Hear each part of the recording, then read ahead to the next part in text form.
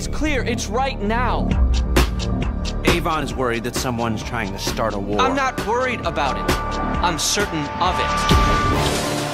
It has to be the Russians, or the North Koreans, or the Chinese, or the Iranians. We would need a ballistic missile launcher to have half a chance. This cannot be traced back to me.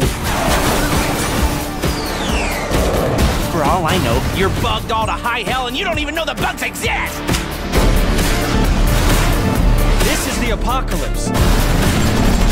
The doomsday scenario. Mushroom clouds, fallout.